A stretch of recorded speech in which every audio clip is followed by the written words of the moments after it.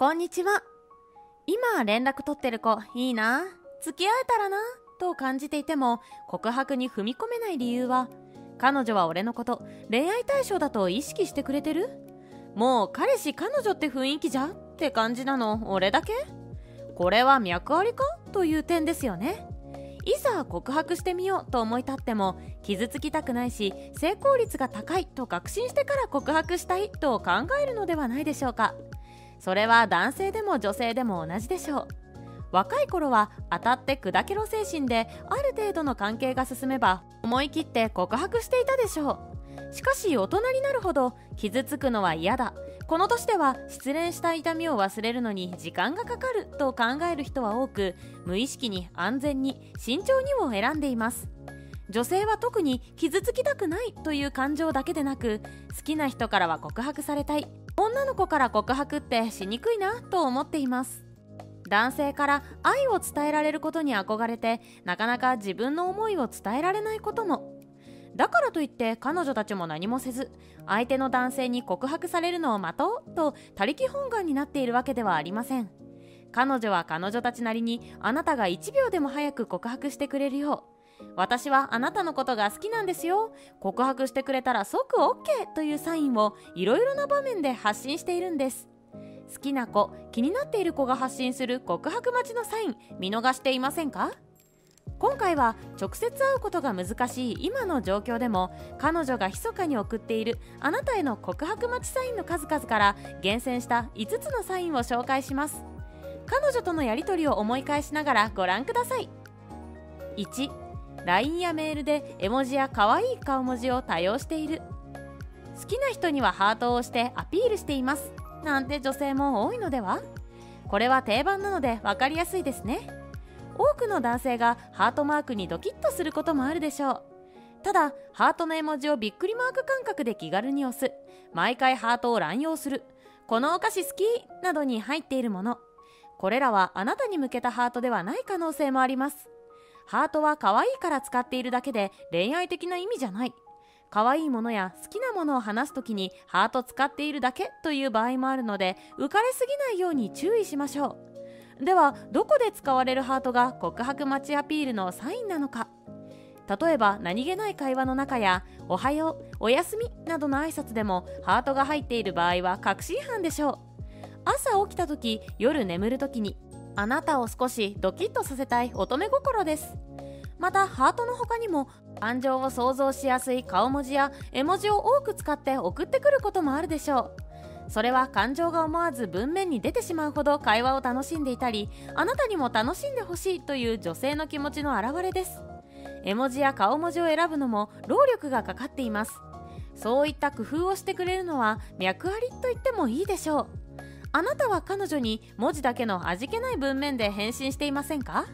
たまにありがとう、おはようなどの言葉に一つ絵文字や顔文字を使ってみると彼女はもっとあなたを好きになると思いますよ。使いすぎはチャラく見えたり惹かれる場合があるのでほどほどに。2、〇〇に行ってみたいなや今度ここに行こうよなど休日の予定を立てる。会社や学校などでも顔を合わせるのに休日わざわざ遊びに行こうと誘ってくるのはよほどの趣味仲間や友人でもない限りないと思います。女性にとって休日に出かけるというのは一つ大きな仕事をこなす感覚なんです。朝からスキンケアをして洋服をコーディネートして化粧をしてヘアセットをしてととても大変。それでも会いたいと思って誘ってくるのは脈ありでしょう。では友人と脈ありの違いを見極めるにはどうしたらいいのか。それは他の共通の知り合いや俺の友人も誘うと聞いて遠回しであってもストレートにでも2人きりがいいと言われたらその日に告白をしても OK をもらえる可能性は高いです。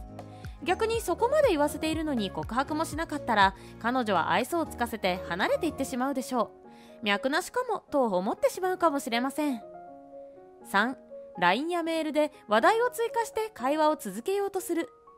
イエス、ノーで終わる会話や必要な連絡だけでなく、今何してるんですか？や、そういえばこの間、など、LINE が長く続くように、彼女の方から会話を提供してくれるのは脈ありでしょう。しかしそれが一度や二度なら気を使ってるたまたま話したいことがあっただけだったり彼女もあなたのことを好きかどうか確認している最中の場合もこの人とは会話が続くかどうか。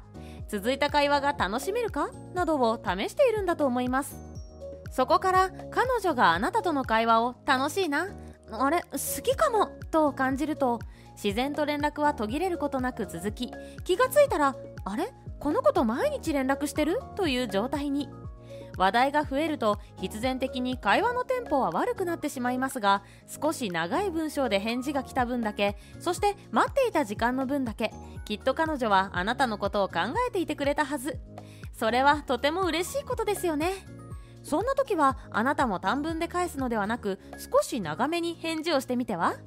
きっと彼女は日々あなたからの告白を期待しながら連絡を待っていると思いますよ。4恋バナをしてくる。どうでもいいと思っている人の恋愛観や恋愛談ほど興味のないものはありません。そんな人に恋人や好きな人がいようが全く興味が湧かないのは女性も男性も共通でしょう。恋バナをする恋人が今いるのか聞いてくるということは少なくともあなたに脈あり。恋バナをするのもあなたの恋愛観を知って自分が恋人になったらと想像している女性も多いのではないでしょうか。さらに彼女自身に恋人がいないことを伝えられ寂しいアピールをされたら早く告白してってことだと捉えても良いのでしょう。ですがここでも注意点。恋人の存在を確認したり恋バナをしたからといって浮かれてはいけません。後々彼女の友人を紹介された。合コンなどの食事会のセッティングを持ちかけられたなどあなたにとってはがっかり展開になる可能性も。5テレビ電話を提案される。提案した時の反応。飲み会や面と向かって話す機会が減っている中で好きな人の顔を見ながら話せるのがテレビ電話やリモート飲みのいいところ。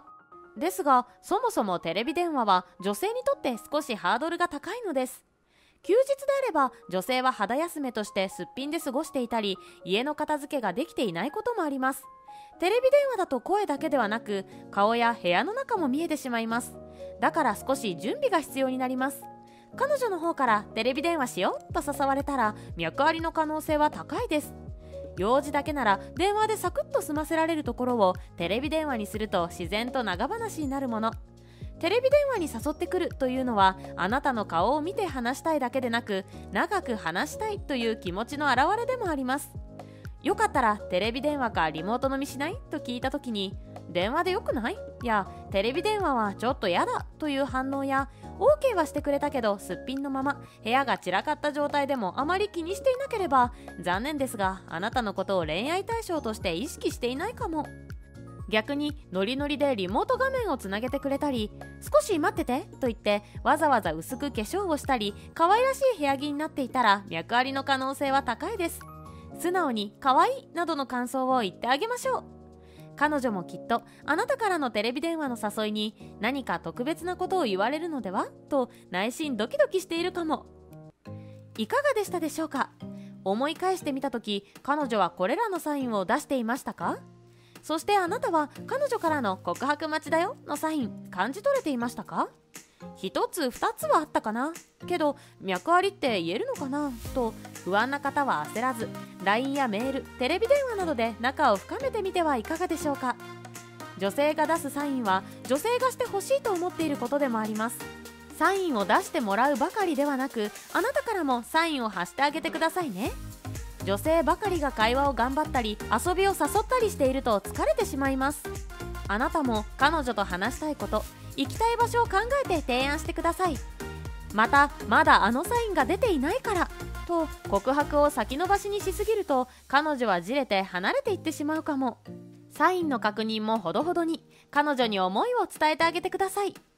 最後までご視聴ありがとうございました。動画が気に入っていただけましたらチャンネル登録とグッドボタンをお願いします。